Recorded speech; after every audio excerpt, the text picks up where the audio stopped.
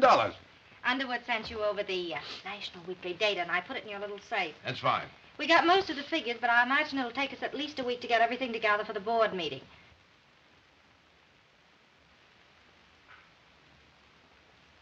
What is it? What's the matter? Oh, nothing, nothing. I was just noticing something. What?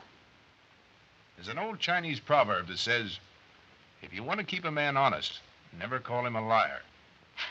Well, I don't know anything about Chinamen, but I do know you've got a good week's work getting those figures together.